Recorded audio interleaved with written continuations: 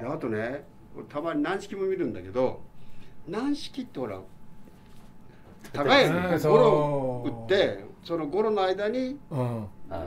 強いじゃん。ワンアウトランナー3にスクイズやるよりもこう叩きつけて1点取りましょうみたいな、まあ、勝つためには必要な戦術かもわからないけど、スキル的にはどうなんだろうかなと思って。いやいねやーそれ困ります。す 一番今僕ね、うん。あのアカデミーやってるんで、うん中学生でもそうやって打つ子多いの、軟式係の方は、だからそうちょっと今までのことを考えながら、うん。やっぱりライナーを打つ練習しようよ、うん。っていうことから少しずつ始めて、うん。でやっぱりどうしてもダウンこのこのうん。大根切りみたいなのがやってる子っていうのは、うん。アッパースイングさせなきゃダメ感覚的にね。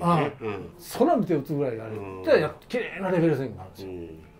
だからねあれはねちょっと軟式野球の弊害ですようん。あさらに上手くなりたい子はね、やっぱりだからみんなシニア行ったりとかしながらそういうのやっていくと思うんだけども、大人がやるね軟式野球の全国大会、うん。それはボールだって140くらい投げるピッチャーもいるうし、ん。はい。いやロースコアの戦いになるじゃん、そうするとまあそれもあるのかなってあー1点取るためにはと思うけど子供の自分でねそうですね。それをやっちゃうとうちょっと今広橋が言うように弊害出てくるわね、うん。このその後の野球人生においては、んあんまり勝ち負けをこうね子供の時には、うん。まあ、言っちゃダメですよね、うん。うん台湾の野球事情知ってます？知りません。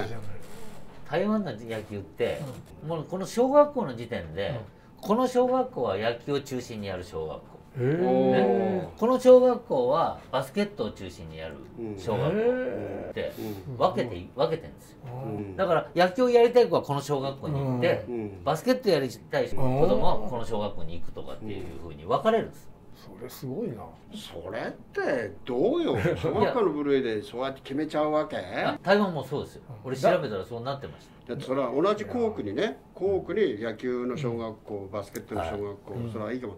でもさ野球やりたかったらその野球やる小学校入って10歳前後でなんか自分の将来やるスポーツで決めちゃっていいのかなみんな、ね。僕この間調べたら野球人口なんて大したことないんですよ。世界でいや3500万人しかいないんですよ。ああ世界でね。世界でね。ああはい。はい順位で言うとさ6番目か7番目ぐらいですよね、そうだろうね。うん。バスケットが一番。バスケットもいいのか。バスケット4億5千万人。でサッカーでしょ？うん。で次クリケットですよ3番おーえークリケットなんだ。まあ、野球はだってほらアメリカ中心に流行ってきたから、うん。アメリカのいわゆる軍が駐軍してるところで測ってきたのね、うん。日本でもそう、はい。フィリピンでもそうなんだ韓国でもそうなんだけど、まあ、元来そのクリケットなんかやっぱりヨーロッパのイギリスの方のスポーツだから、植民地で世界いろいろね、設計してたんで多分そういったところで広めていったんだろうね、俺最近思うんだけどさ日本はほら少子化になってきてるじゃん、うん。子供が少ないじゃん、うん。でほら野球は野球だけ、うん。サッカーはサッカーだけってやると、少子化になって人口少なっていく子供がいない、なおかつその一つの競技で囲ってしまうと小学校から中学高校大学とその競技人口減っていくわけじゃん。うん。当然。はだったら競技人口を減らさないためには一人の子供に「じゃあお前野球もやれよ」まず寒くなったらサッカーもやれよ、バスケットもやれよみたいなシーズンスポーツ的にいろんなスポーツやらした方が、うん。俺競技人口の減りは減少を抑えられると思うんだよね。いただ小学校のねやっぱ野球人口は10年前の3分の2ぐらいになってるんですよ。少なくなってるんだね。その代わり高校で野球やってる人っていうのはうん。そんな少なくなってないんですよ。っていうことはですね継続率が高くなってるからうん。辞める人が少なくなってるっていうことは事実らしいです。じゃあまあ昔やっぱりたくさん辞めてますもんね。そうただそれはやっぱりあれでしょ。体罰でししょ。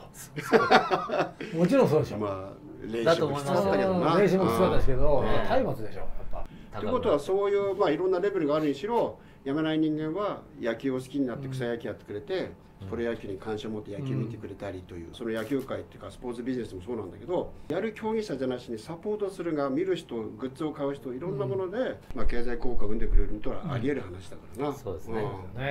じゃあところで皆さんそろそろ時間だけど、うん。じゃあ広橋ねプロ野球行って、はい。コーチもやって、で今女子野球を女子野球ですうん。ね、なんかその今のじゃあ女子野球ってうん日本の野球のレベルってどのレベルだし、女子の人口はどのどういうあのー実際女子野球まあ以前プロ野球があったんです、うん。結局なくなりました。あ要するにやっぱお客さんも入れないだろうし、うん。えーそれとね、まあ、社会人野球の方がうん。結構目立ってます、うん。でそんな中で、えー西武ライレディースまあ、新谷がね、はいはい。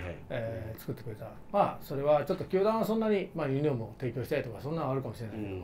そこまで関わらない、うん。でその後に阪神。うん。阪神が今年できました、うんまだまだまだ NPB 関連したの 2, 2チームしかないわけ。うん。でまあジャイアンツも、まあ、原監督もたまにね宮本コーチが結構女子野球を熱心に前,、前々からやってくれたのでそういう面ではちょっと進展はあるのかなとは期待してはしてますけども、うん。実際現状高校野球増えてます。うん。女子高校野球増えます。大学はないんです。全く大学はね増えてないんです全国でね10校あるのかな？そんなもんなんです、うん。そうすると受け入れ先が少ないんです。高校野球はあっても、うん。であとはかクラブチーム。うん。で企業チーム。企業チームでもそのグラウンドがないとかね、うん。あちこち練習場を借りながらやっていくっていうかね、そういうチームが結構多いんですね。うん。だから恵まれた環境でやれるっていうのはほんのわずかです。うん。今。だからそこら辺をねもうちょっと NPB の人たちはうん。ちょっと考えてほしいな。競技人口増えてるんですようん。うん。それなのにその先がうん。ない。うん。そこら辺がねちょっと今からの課題かなと思って、うん。でいずれは本当の女子プロ野球を、うん、僕らも作っていきたい、あのーまあ子供たちが少なくなって、うん。野球に憧れる子供たちも少なくなって、はい。だけど野球界は8億じゃ9億じゃっていう年俸が出てきたんだよね、すごい俺いいことだと思ってそうすごいすごい憧れる、うん。うん。自分の体として8億円も稼げるのっていううん。頑張りによってやっていう、そこに俺は夢があると思って、だからプロ野球界もそういう大きな憧れる人間を作らないかんかもわからないけど、おっしゃる通り NPB が中心になってうん。12球団が一つにまとまって、うん。そういった老若男女全部が集まるような環境整備は、うん。やっぱりこうそこにまあ投資も含めて、うん。なんかこうプロ野球全体で考えてもらいたいなっていう。そうね。そういう面では OB クラブも子どものキッズベースボールだとか、えボールパックとか、そんな地道な努力はしてんだけどもう少し本当にこうそのプロ野球 NPB が NPB と OB クラブとプロ野球選手会、うん。プロ関係が三位一体になってこんな改革していきますという、うん。プロ野球界が利益を上げていただいて、うん。でその上げたものを株組織に還元していきますよっていう、そうやって底辺を拡大してこの大きな枠のちっちゃい三角形がだんだん大きくなっていって、まあ、野球界一つになっていけば、うん。そうすると子どもの野球も大人の野球も女子の野球もそうですね。うん、だってねせっかく女子がそうやって増えてくれてるのに、うん。その先がないっていうのはああ。それが一番かわいそうですね、うん。やってて。女子プロ野球もう一回できて女子プロ野球うん私1本当億もらってますなんかねねそういう人間出てくれば全然違うと思うんだけどね。ねそういう魅力をねやっぱり今もう特に男女平等化っていうのがあってるわけじゃないですか、うん。なんとかね、えー NPB の方々がちょっとうん。協賛していただいてね、うん。えー女子野球を盛り上げていって、うん。いずれは下部組織うん。になっていけいけば最高かなっていう感じありますよね。まあ現状と希望と、うん、そうはいですね。うん。頑張ってくださいね。はい、ありがとうございます。はい。中学生子供の野球ずっと長いことを接してますけど。そうですね。もう最近。27年。うん。27年やってその間まあ5年間だけベイスターズ部にお,、ねうん。お世話になったんだけどアマチュアの方をずっと見てきて、一番感じることはですよ、うん。やっぱり、えー申し訳ないけどやる場所がないですよね。グラウンドが。あ今まあうちの現状としても、まあ、世田谷にシニアというシニアって、グラウンド借りるのに抽選なんですね、うん。多摩川のグラウンドとかー、うん。駒沢の野球場とかっていうのを、えー府警の人たちもみんな手分けして抽選をしてもらって、えー当たった場合は使えると、とにかく財源を集めないことには、うん。多分子供たちの方にも回ってこないと思うんですよ、うん。うん今の状況ではですよ、まあ、あとはその何が足りないんだろうと思ってやった時に、うん。まあ、辞めていく子が多いですよね。うん。これじゃいかんと思ってやっぱり自分の中でやっぱアマチュアなので辞めない子供を作ろうと。うん。今まあ僕が抜けた後に日体大出身の吉田監督っうん。ていう監督やってもらってるんですけど非常にやっぱり優秀でうん。頭も良くて、うん。まあ、今うち部員がですね辞めないんで190人ぐらいいるんですよ。すごい。それはすごい三学年2年から3学年で。で今回も50人ぐらいもうまた新入部員がうん。大体決まってんだけど、うん。もう1日2日で名前覚えちゃうんですよ。すごい。甲子園でもそうだけど、一度こう試合に出る選手を登録すると後で登録変えら変えられないじゃないですか、うん。自分がもう背番号をもらってない時点でその選手ってもう夏の大会はまあもう終わりだなって思うわけじゃないですか、シニアはシニアはですよ、うんその試合をするたんびに登録の選手を変えれるんですよ。うん。ということは今まで背番号もらってない選手を交代で入れれるんですよ、うん。まあ、うちのその吉田監督っていうのは偉いのは、うん。選手入れ替えてあげるんですよどんどん。で公式戦でも出してあげるんですうん。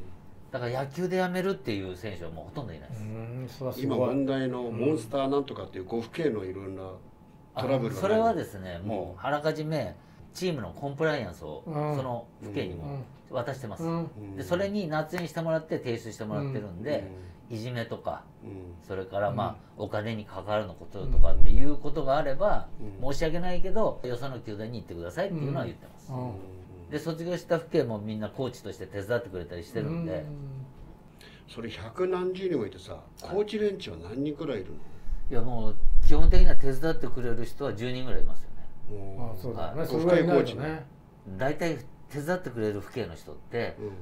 バリバリレギュラーで出てなかった府警の人たちが意外と残って手伝ってくれてるんですよ。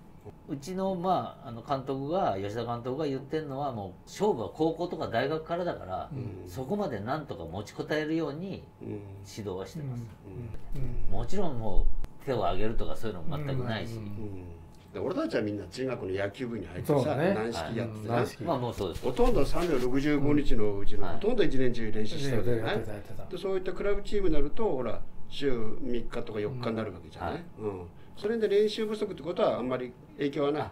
だからそれはやっぱり子供たちに対して、うん。やっぱり野球って毎日やるもんだから、うん。どっかで場所を見つけたりして、キャッチボールするなりやっとく方がいいと思うよっていうことしか言えないんですよだから、うんさっき言ったように場所がないんで、うん。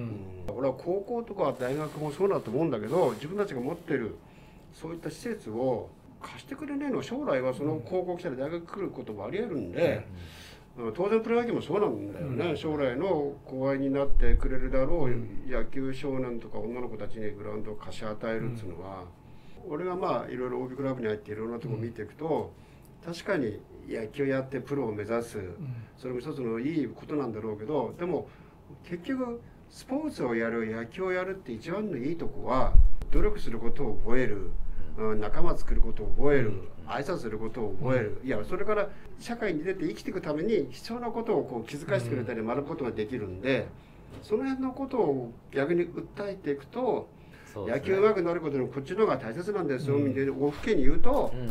あそれだったらっていうのが多いんだよね。そうですね、うんだから野球やった結果スポーツやった結果こんな人生を送りますこんな教育になって、うん。こんなこと身につけましたみたいなそっちの方のアピールが先なのかなっていう、いや僕はそう思いますよ、うん。うん。だからやっぱり親と子供っていうのはさやっぱ子供がこう試合を出る姿とか見せてあげてね、うん。そのことによってさ親と子供がこういろいろな会話するわけじゃないですか、うん。さっき市川さんが言ったようにその社会にね出て、まあ、人間はね人の間で生きていくわけだから、それにはね野球って非常にいいなっていうのあるじゃないですか、いやあのねあの女子野球子供の野球、そしてまあいろんな観点からまあこの失笑引っ張り法を題材にして、だからちょっと話が展開してきましたけどあの非常に皆さんあの今現実というかね、えーを生きてられるその生の声が聞けた、これを見てるご父兄の方子供たちがいろんなことを感じてくれたと思うので、えーえー今後プロ野球 OB クラブはですね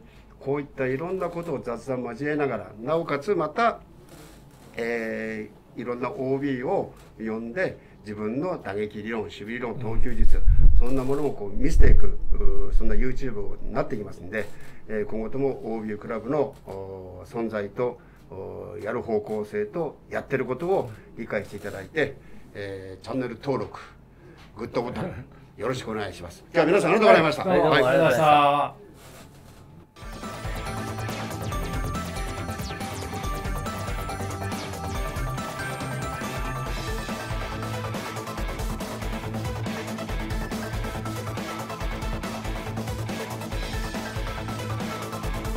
えー今日は、えー私の、まあまあ、昔の同僚に来ていただいていろいろ話をさせていただきました。それでですね皆さん今こう両目がかぶってるこの帽子 OB クラブのオリジナルのキャップなんです。今日はですねこの二方にサインを書いていただいて皆さんにプレゼントを考えてます。えー応募要項はですねこのガイドラインを見ていただいてちょっとそれあんまり把握してませんけど要は欲しい人は何か言ってきてよ、はい、そしたらちゃんと送,、あのー送り届けますから。以上です。